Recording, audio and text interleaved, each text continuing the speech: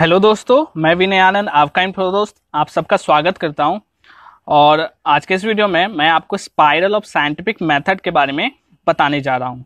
तो चलिए वीडियो को बिल्कुल लास्ट तक देखना, और इसको जब अगर आपको अच्छी लगे तो बिल्कुल लाइक करना सब्सक्राइब करना। तो चलिए बिना देर के शुरू करते हैं ओके सो ये जो ये जो स्पाइरल ऑफ़ साइंटिफिक मैथड है, ठीक है? तो ये किसके द्वारा दिया गया है? सबसे पहली बात तो ये जो दिया गया है एस आर रंगनाथन के द्वारा दिया गया है। और किस लिए दिया गया है? तो to demonstrate that librarianship is a science नाम से ही पता चल है क्या कि साइंटिफिक मेथड के बारे में बताया जा रहा है। ठीक है? साइंटिफिक मेथड के बारे में बताया जा रहा है, यानी साइंस क्या हुआ कि वैसा मेथड जो साइंस से रिलेटेड हो। यानी साइंटिफिकली जो प्रूवन चीज़ है, वो क्या है? साइंटिफिक मेथड है। अब ये जो साइंटिफिक मेथड है, वो क्या है? स्पाइरल है। यानी एक स्पाइरल के रूप में है, यानी इस तरह से है। तो इसके बारे में बताया जा रहा है और ये बताया जा रहा है एस आर रंगनाथन के द्वारा, ठीक है?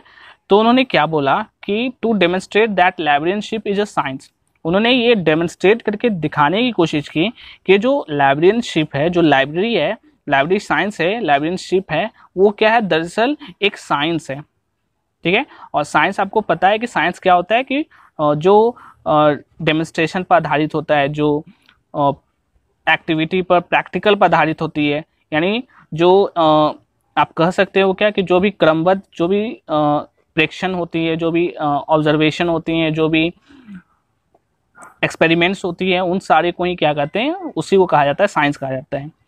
तो सिंपल सी बात है कि उन्होंने इस लाइब्रेरियनशिप को साइंस बताने के लिए उन्होंने एस आर रंगनाथन ने अपने second edition of his classic five law of library science 1957 added a chapter in title spiral of scientific matter यानी उन्होंने अपने five law of library science का जो सेकेंड एडिशन था, जो कि 1957 में उन्होंने लॉन्च किया था पब्लिश किया था, उसमें एक चैप्टर था। उस चैप्टर का नाम था स्पाइरल ऑफ़ साइंटिफिक मेथड और इसी चैप्टर में उन्होंने सबसे पहले स्पाइरल ऑफ़ साइंटिफिक मेथड के बारे में बताया था कि कि लाइब्रेरीशिप दरअसल क्या है, एक साइंस है। उसी को डेमोन्स्ट्रेट करने के लिए ये दिया गया था ओके नेक्स्ट टू साइलेंस और convince the sceptics of the scientific nature of library science discipline उन्होंने बताने की कोशिश की, जो लाइब्रेरी साइंस डिसिप्लिन है, जो लाइब्रेरी साइंस सब्जेक्ट है, वो दरअसल क्या है, एक साइंटिफिक नेचर को फॉलो करता है।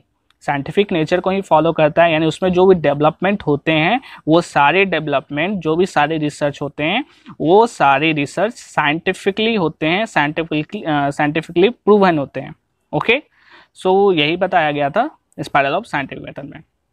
अब कह रहे कि उन्होंने बोला कि he said science moves like a spiral उन्होंने बताया कि साइंस से जो एक स्पाइरल की तरफ़ मूव करते हैं यानी उसका कभी एंड नहीं होता वो चलता रहता है चलता रहता है चलता रहता है। तो एक स्पाइरल की तरह होता है दैट इट मूव्स क्लॉकवाइज जो कि क्लॉकवाइज मूव करता है in a circle it keeps moving on to new places it means science is always progressive scaling new heights and discovering new knowledge यानी साइंस जो है हमेशा प्रोग्रेस करता है, हमेशा प्रोग्रेसिव होता है नए नए ऊंचाइयों को छूता है नए नए नॉलेज को डिस्कवर करता है। यही तो होता है क्या? साइंस होता है। और ये साइंस क्या है? उसी तरह स्पाइरल की तरह है जो घूमता चला जाता है। तो सिंपल से कॉन्सेप्ट आपको समझ में आ गया होगा कि स्पाइरल ऑफ़ साइंटिफिक मेथड क्या है। अब आते हैं इसके स्ट्रक्चर्स में, कि स्पाइरल्स में इसके जो स्ट्रक्चर्स है, क्या स्ट्रक्चर दिए गए हैं तो इसको फोर क्वाड्रेंट में डिवाइड किया गया है, यानी इस तरह से।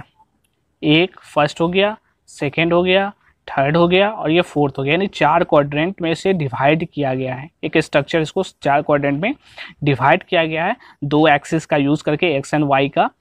एंड इसमें जो स्पाइरल वो मूव्स क्या, कैसे करते हैं? क्लोक क्लॉक वाइज करते हैं, ठीक है? ये कैसे है? और यहाँ से क्या होता है? ये क्लॉक वाइज ये रोटेट करता है, ठीक है? सो इसमें जो जो लोएस्ट एंड है लोएस्ट एंड है लोएस्ट एंड है जो वर्टिकल लाइन यहाँ पे ना? ये ये क्या है? हॉरिजेंटल लाइन है, और ये क्या है? वर्टिकल लाइन है। तो जो लोएस्ट या वर्टिकल लाइन है इसे कहा जाता है एन नादीर, ठीक है? ये जो वर्टिकल लाइन नीचे वाला है, यानी इसका मतलब लिटररी मीनिंग क्या हुआ? कि ये बॉटम वाला हो गया। बॉटम का जो पॉइंट है, वो नादिर हो गया। जेनिथ क्या हो गया? अपर द वर्टिकल लाइन ये जो, ये वर्टिकल लाइन है, इसका जो अपर पार्ट है, वो क्या है? जेनिथ है। और ये वर्टिकल का ये जो नीचे वाला पार्ट है, वो नादिर है। नेक्स्ट है कि जो लेफ़्ट वाला साइड है, ठीक है? लेफ़्ट वाला साइड ये हो गया। लेफ़्ट वाला क्या है? जेनिथ है। और ये एसेंडेंट है। और ये क्या है? राइट वाला साइड क्या है? जेनिथ है। ठीक है? ये जो राइट साइड हो गया, यानी एक्स एक्सिस पर। राइट साइड हो गया जेनिथ और लेफ़्ट साइड हो गया एसेंडेंट तो ये चार पार्ट में इसको बांटा गया एक्सिस में एक्स और वाई एक्सिस है तो आपको याद रखना है कि जो ये हॉरिजेंटल लाइन है वहाँ पर यहाँ पर एसेंडेंट है. और ये इसके बगल में आ, आ, क्या है?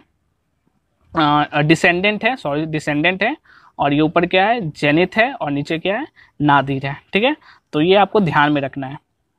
सो so, अब बात आती है ये जो असेंडेंट है तो आप कैसे याद रख सकते हो? तो सिंपल है असेंडेंट मतलब क्या? असेंडिंग ऑर्डर से आप याद रखो कि असेंडिंग मतलब असेंडिंग करना है बढ़ना तो यहाँ से क्या हो है? ये बढ़ रहा है। तो बढ़ने के बाद क्या होगा जब टॉप पर आ गया तो क्या हो गया? जेनिथ हो गया ठीक है? फिर ये जब डाउन आ गया यहाँ पर ये हो गया यहाँ पर डिसेंडेंट यानी क्या हो रहा है? घट रहा है ठीक है?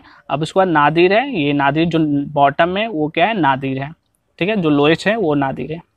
तो इस तरह से ये हो गया तो आपको याद रखना है असेंडेंट जेनिथ डिसेंडेंट और नादिर अब आते हैं कि ये ये जो दिए गए हैं, ये क्या है? इसमें फेजेस होते हैं। तो चार तरह के फेजेस हैं। एक है इम्प्रिकल फ़ेज़ है, एक है हाइपोथिसाइजिंग फ़ेज़ है, एक है डिडक्टिव फ़ेज़ और एक है वेरिफिकेशन फ़ेज़ तो ये चार फ़ेज़ में तो आप यहाँ देखो, अच्छे से आपको ये पता चल जाएगा ये पिक्चर देखो, और यहाँ पे ये सारी डिटेल्स आपको दिख रही होंगी।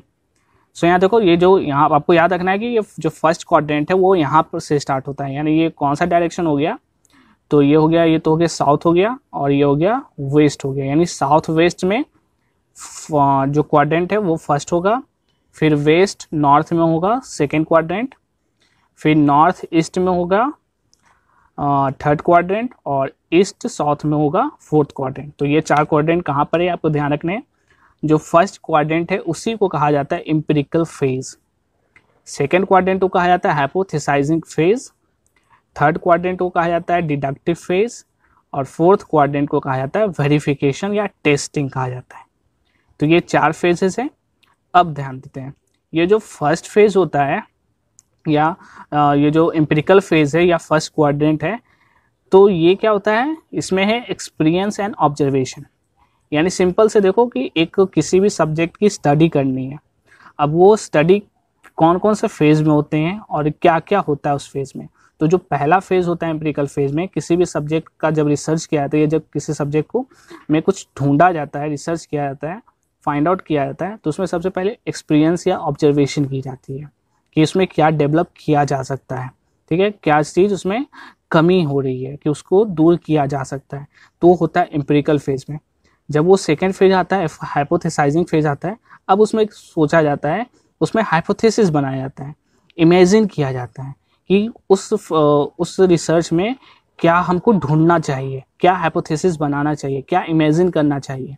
तो वो आता है सेकेंड फ़ेज़ में आता है, यानी सेकेंड क्वाड्रेंट में आता है हाइपोथेसाइजिंग फ़ेज़ आता है, जिसमें इमेजिनेशन किया जाता है। अब आता है जो थर्ड फ़ेज़ है थर्ड फ़ेज़ क्या है? डिडक्टिव फ़ेज़ है। इस डिडक्टिव फ़ेज़ में अब ये रिसर्च आगे बढ़ा, अब रिसर्च आगे बढ़ा तो डिडक्टिव फ़ेज़ में आया और डिडक्टिव फ़ेज़ में क्या होता है? इंटेलेक्चुअल लगता है और लॉजिक लगता है डेटा कलेक्शन लगता है। यानी इसमें डेटा हाइपोथेसिस हम लोग बना लिया, अब इसमें हम लोग डेटा को कलेक्ट करते हैं। अब वो डेटा को कलेक्ट करने पर अपना लॉजिक लगाकर, अपना माइंड लगाकर, अपना इंटेलेक्ट लगाकर उसे, उस डेटा को क्या करते हैं हम लोग? सजाते हैं, उसको अरेंज करते हैं। ओके?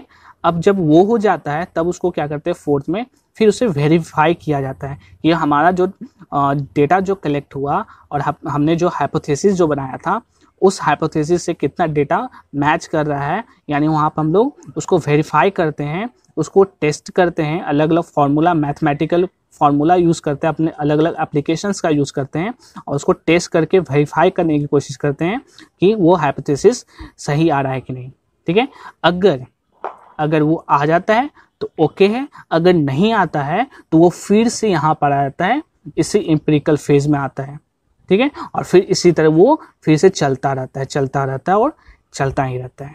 तो यही है स्पाइरल साइंटिफिक मेथड जो कि डॉक्टर एस आर रंगनाथन बताया कि अगर जो जो रिसर्च किया जाता है तो रिसर्च करने में अगर वो वेरिफिकेशन सही होती है तो सही है, वहाँ पर वो रुक जाती है। अगर नहीं होती है तो वो फिर क्या होता है? चलती रहती है। और ये भी, अगर रुक भी जाती है तो रुक भी जाती है तो उसमें कुछ ना कुछ कमी ज़रूर होता है। कहीं ना कहीं क्या होता है गैप ज़रूर होता है। ठीक है? कहीं ना कहीं कोई प्रॉब्लम होता है, अब उसी प्रॉब्लम को लेकर फिर से रिसर्च शुरू होती है और फिर चलती रहती है। और इसी तरह आगे ये बढ़ता रहता है, ये साइंस साइंटिफिक तरीका हुआ। ठीक है? तो यही है, ये इसी के बारे में बताया गया है। और यहाँ पर आप ध्यान रखना क्या, कि ये जो नादिर है बॉटम में नादिर है, फिर असेंडेंट है जेनिथ है और फिर क्या है?